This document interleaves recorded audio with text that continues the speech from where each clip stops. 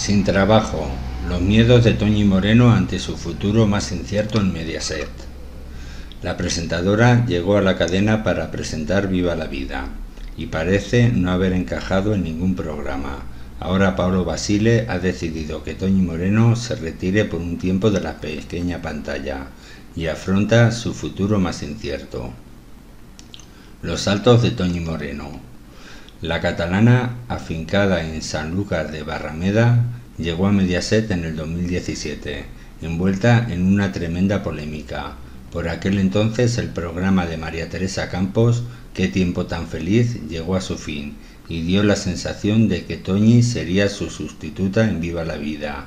Se hablaba de que había arrebatado el puesto a la veterana periodista y se rumoreó incluso con un supuesto rifirrafe entre las dos profesionales de la comunicación.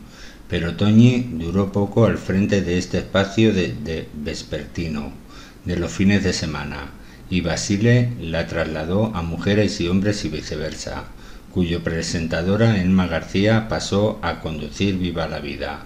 Ahora será Jesús Vázquez quien dirija el plató del programa de citas y el futuro de Moreno.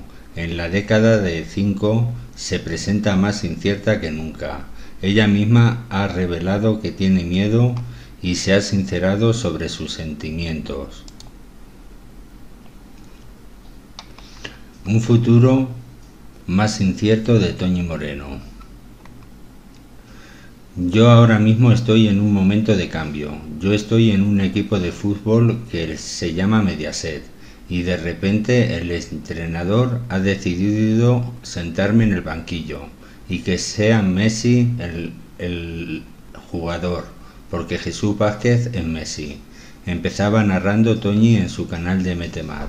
La presentadora se muestra optimista y mantiene la metáfora para asegurar que seguía entrenando para regresar al terreno de juego, más pronto que tarde, Aún así, reconoce que tiene un poco de miedo, lo normal durante un proceso de cambio. La presentadora intentará mantener una actitud positiva, ser consecuente y tirar para adelante, ahora que se enfrenta a su futuro más incierto en televisión. En cualquier caso, Toñi ha reconocido que tiene un plan B, por si las moscas, y de un día para otro su teléfono deja de sonar y concluye para siempre su etapa en la pequeña pantalla. El plan B de Toñi Moreno. La presentadora alcanzó mucha popularidad gracias, entre todos, el programa de televisión española que ayudaba a los más necesitados y que se ganó unas cuantas críticas y polémicas porque muchos la, acusaban de lucrarse de las desgracias ajenas.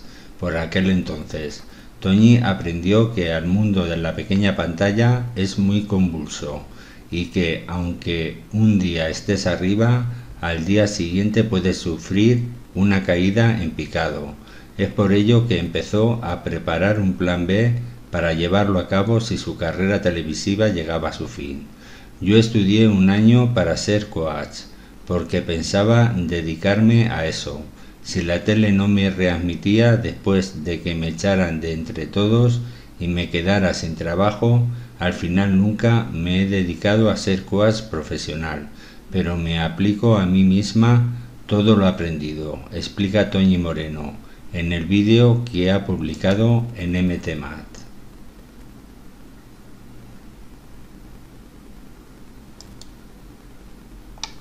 La esperanza de Toñi Moreno. En cualquier caso, no todo está perdido, y llegados a este punto, se debe aclarar que la presentadora todavía conserva su contrato de Mediaset y que, según ella, tiene en mente algunos proyectos para televisión de cara a septiembre, que pudo orquestar durante el confinamiento. Además, también aprovechó para escribir un libro, que, con un poco de suerte, terminará publicado y distribuyéndose en el mercado pero sin duda alguna lo que más ayuda a seguir adelante en estos momentos convulsos es la compañía de su hija Lola.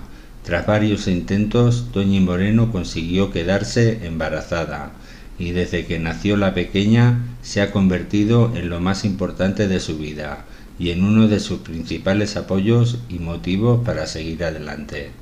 Esta es la noticia, coméntala, suscríbete al canal y muchas gracias por estar ahí.